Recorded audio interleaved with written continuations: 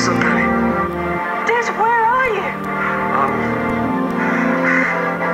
Oh my god, Penny, is that really you? Yeah. yes, it's me. You believe me? You still care about me? Des, I've been looking for you for the past three years. I love you, Penny. I've always loved you. I'm so sorry.